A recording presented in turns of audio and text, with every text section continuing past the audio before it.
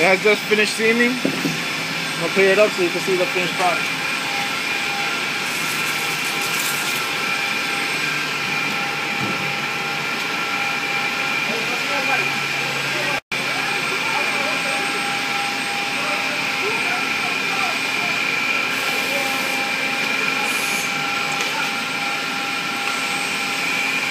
And that's the finished product. Nice satin finish with the scene.